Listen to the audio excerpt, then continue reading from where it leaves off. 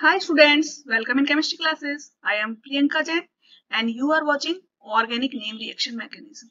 In our this lecture, we will study about Dieckmann condensation reaction. In our last lecture, we have studied about the Claisen condensation reaction and crossed Claisen condensation reaction. If you want to see more of the videos on the organic name reaction mechanism, then you can go to our playlist of organic name reactions. Okay. So today we are studying about Dieckmann condensation. Actually, Dieckmann condensation is nothing. It is intramolecular Claisen condensation reaction. When we are doing the Claisen condensation reaction within one molecule, then it will be called Dieckmann condensation reaction. So actually Dieckmann condensation reaction is nothing. It is an intramolecular condensation reaction that is given by diesters. It is given by diesters and it is given in the presence of a base. Okay. The base may be, this is the base. Okay. Now this base may be either sodium or it may be sodium ethoxide or it may be sodium hydride or it may be potassium tertiary butoxide. So when these diesters are treated in the presence of such bases, then they are converted to cyclic beta ketone derivatives. This reaction is known as Dieckmann condensation reaction. Okay, it means whenever diesters in the presence of base are treated, then they are forming cyclic beta ketone derivatives by their intramolecular condensation. This reaction is called Dieckmann condensation reaction. See its one example. For example, see this one. CH2 whole N. CH2 COO C2H5. CH2 COO C2H5. This is our diester. Okay. And it is treated in the presence of C2H5ONA.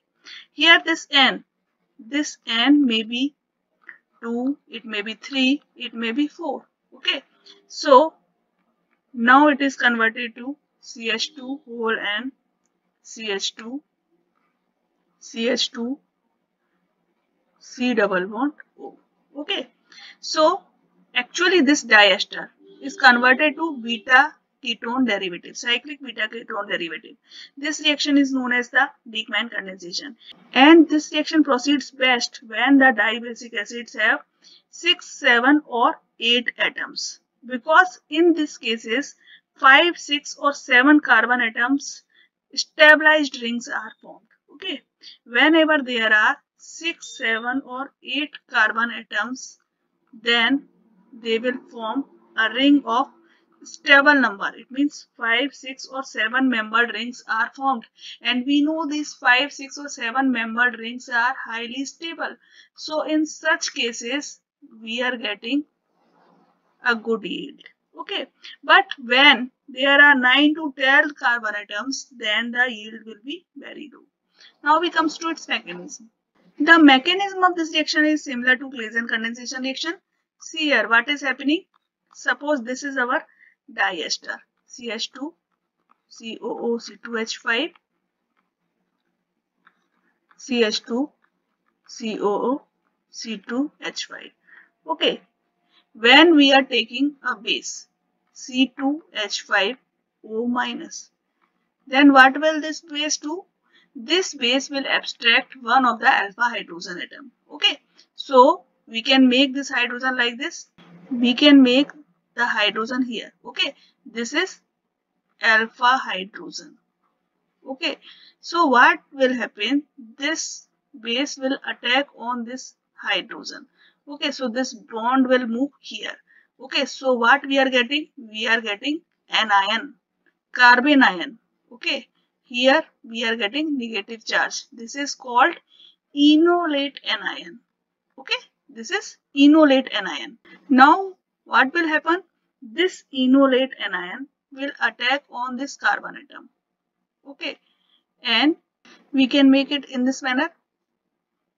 Okay. So what will happen? This negative charge is attacking on this carbon atom. So this bond will move like this. Okay. This bond is moving like this. So what is happening? See here. This will remain as it is. Okay.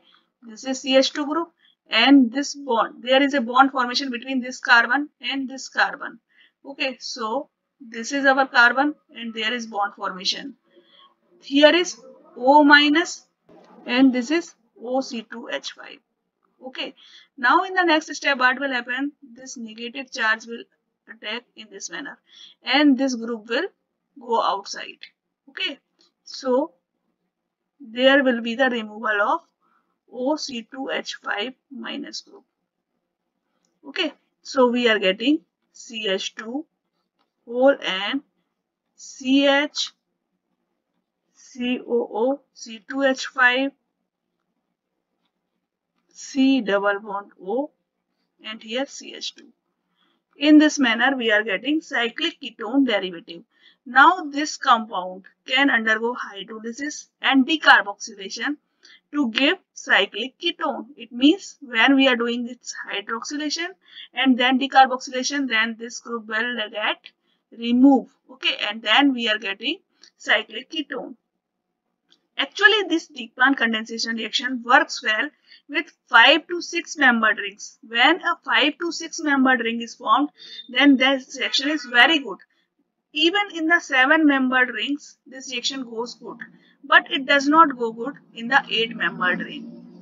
For example, if we are taking C2H5O, C double bond O, CH2 whole 7, COO, C2H5.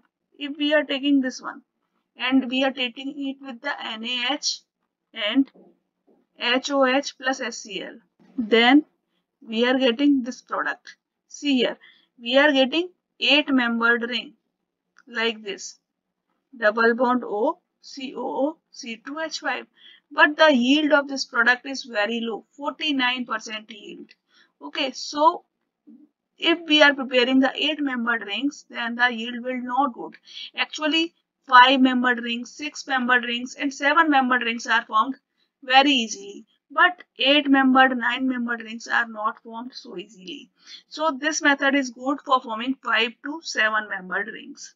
If we are forming small rings then also we cannot use Dieckmann condensation because in the case of small rings there will be strain in the ring. So this ring will be unstable so we cannot use it for making small rings and we cannot use it to form 9 to 12 membered rings. Okay. It can be used only for 5, 6 and 7 membered. Alright. Now see its application. Actually this method affords a very good method for the synthesis of cyclopentanones and cyclohexanone derivatives. For example, if we want to prepare natural products and there we have to prepare the 5 or 6 membered rings then we can prepare with it. For example, if we have to prepare steroids okay? In steroids actually you see 5 membered rings 6 membered rings there you can prepare the rings for example see one of the steroid preparation. See here. This is diester okay? And we are treating it in the presence of base C2H5ONA. Okay, so what will happen here? Here at this position, this is CH3. Okay, and at this position, in this manner, this ketone group is formed, cyclic ketone group is formed. Okay, the rest thing will remain as it is. Okay, now it can be treated with H3O plus and secondly, it undergoes decarboxylation. So what we are getting ultimately? We are getting this 5 membered ring. That is a property of the steroids. Okay, so it is highly used in preparing steroids. Similarly, it can be used for the preparation of ketoesters. If we have to prepare ketoesters, then also it can be used. So here what you are getting? C2H5 and Firstly, it is treated with H2O, it means it undergoes hydrolysis and then decarboxylation. So, this COR group get removed and what we are getting C2H5 and in this way we can prepare keto esters. Okay. So, this is whole about the Dieckmann condensation reaction and its application. Okay, hope you all get understand and like this video. If you are liking, please comment me, please share the videos, please subscribe the channel. Thank you.